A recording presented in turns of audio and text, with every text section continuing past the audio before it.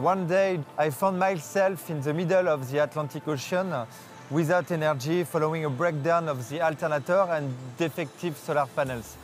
That day I decided that I had to find a solution.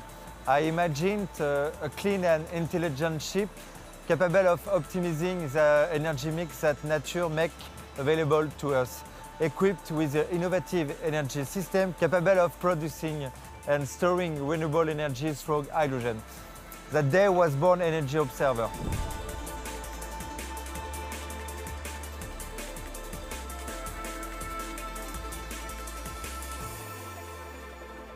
The shipping industry is one of the most polluting. 90% of trade is seaborne, creating 2 to 3% of the world's total greenhouse gas emissions. But this boat is on a six year mission around the world using solar, wind, hydrogen, and battery power in an effort to prove that there is a greener way. I'm Emma Keeling here on the River Thames in London to see if the Energy Observer will be able to convince the maritime industry that what they're doing can be cleaned up. The Energy Observer is two years into its journey and has visited 25 countries with 25 to go. Official uniform? London is the 47th stopover. The boat is a floating laboratory where the crew is experimenting with and refining green technologies. Bonjour! How are you?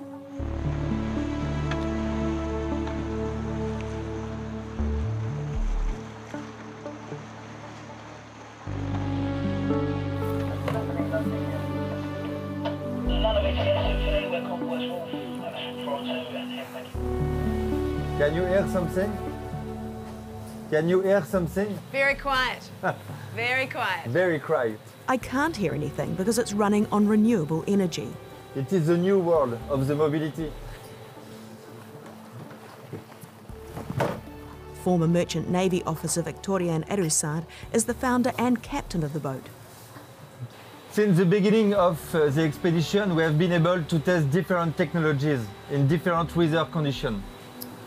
Which of the technologies has outperformed your expectations? We were nicely surprised by our solar panels as they turned out to be much more adaptable than we initially thought, reacting very well to difficult weather conditions, a lot of passage and changing temperatures.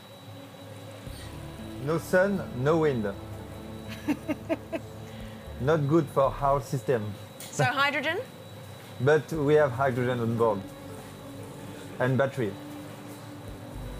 The Energy Observer is sponsored by commercial interests and is also supported by the European Commission, UNESCO, and IRENA, the International Renewable Energy Agency. You see, here we have the uh, three different kinds of solar panels Yeah. uh, that we have this year. Louis Noel Viviès is the development manager. Some more here on some uh, on all the vertical, you know, areas available. Yeah. So you've got this new generation. They are very light, flexible. This one are the uh, prototype that we have been designed with the um, National uh, Solar Energy Institute. So they are double-faced. They, they take up to 30% of their power from behind.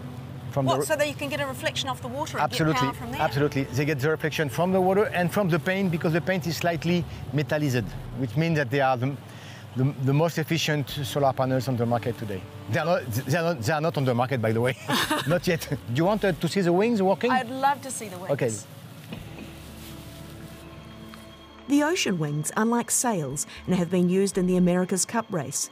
They complement the electric motors, improving efficiency. In reality, they work like an aeroplane wing, which provides lift, whereas these provide forward motion. Are you excited about this technology? Yeah, of course. Yeah. You know, this kind of, of profile, it is twice as efficient as a standard sail. So, so how does it work? fully automatically. You just don't do nothing. You just push on a button, it raises, it adjusts itself to the best angle, it creates you some apparent wings, so there is a virtuous circle. It creates its own speed, which creates some more wind, which creates some more speed, and then you just add some electricity if you need, and you've got a fabulous mix of energies. If you invest, let's say, one kilowatt in the motors, you get five or six kilowatts in return.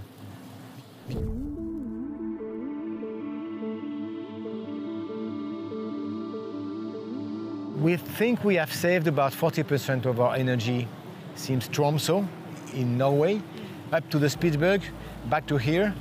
We just believe it is the, the future of the, of the navigation because you can put them on any kind of boat. On board, there are four tanks of hydrogen on either side and a set of 112 kilowatt lithium ion batteries that feed the electric motors.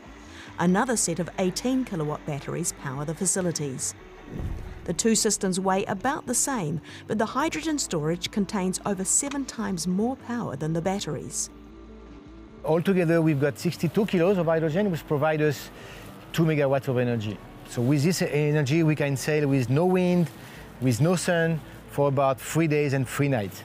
Why do you store the hydrogen up top? So the uh, storage for hydrogen today needs to be in an open space to have a natural ventilation.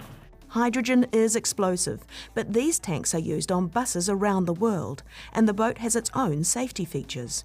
So, what do you have in place to make sure that everything is safe? First, we have many sensors everywhere. As soon as there is any problem or any abnormal uh, uh, pressure, for instance, it means that there is a risk that there is a leak. So automatically, it will eject all the hydrogen at more than 20 meters high, so that the hydrogen, even if it burns at the contact with the oxygen, it will not burn the wings because you know they're brand new and we work a lot of them and we don't want to see them like a torch. Now let's have a look at the uh, desal. Desalination. Desalination so, stage, yeah. Salt water into pure water. Absolutely. So many different little hidey holes in this place. What's different about this desalination plant is the first step provides water for the crew, but there are two more steps. And then we, we got the second and the third stages are designed to produce the purest water as possible. And this water is then sent to the other hull on the other side to be electrolyzed.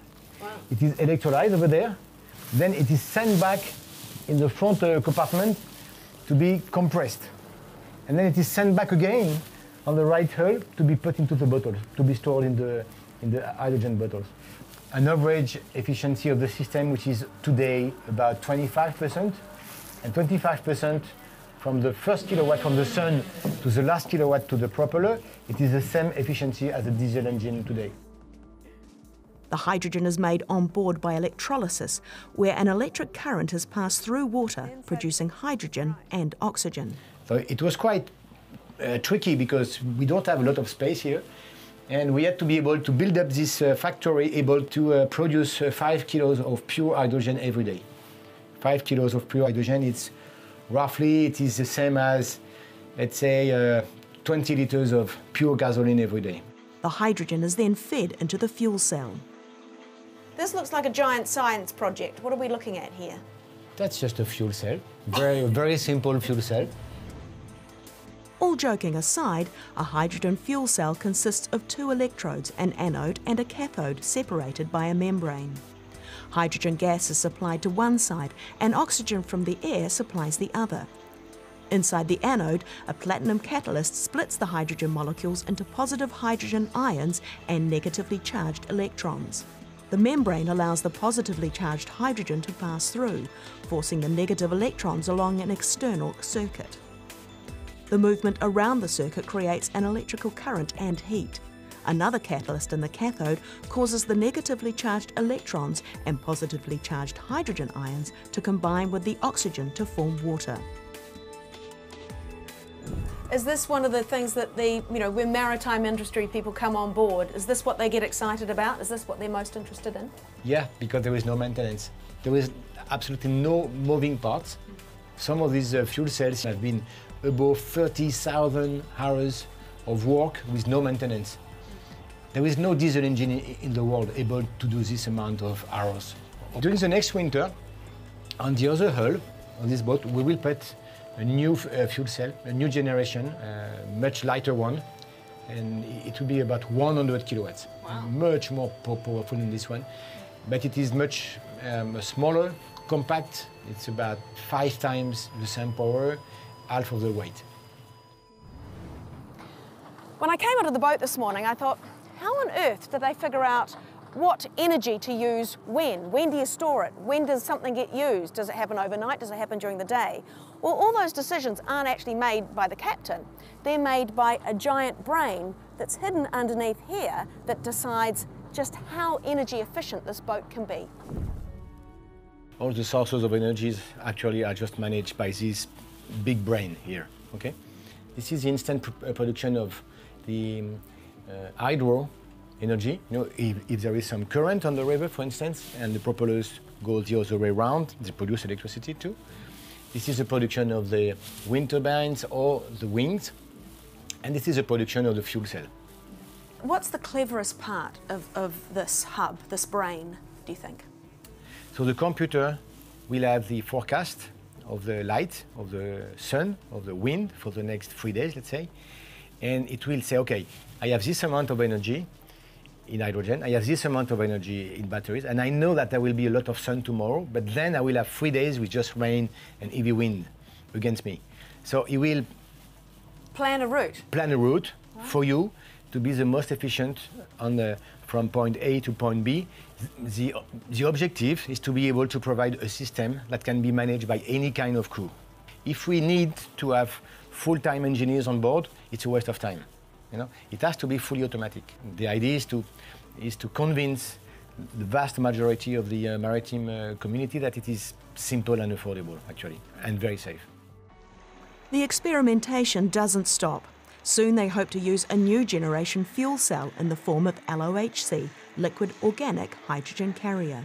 It's like gasoline, but it is loaded with hydrogen. And it is the same um, density, energetic density as the gasoline. Um, but um, it works with the uh, ambient uh, temperature, with the ambient uh, pressure. So it takes the same room as a, as a gasoline tank. It will be a very big revolution. Captain Erussard sees the Energy Observer as part of a greater revolution. I simply wanted to show that it is uh, possible to navigate otherwise. And it is a much more effective way to educate politicians, citizens, and industrialists uh, with a real ship that can be tested and touched rather than uh, a few promising slides of a keynote presentation showing uh, a time in the future. The future must be now.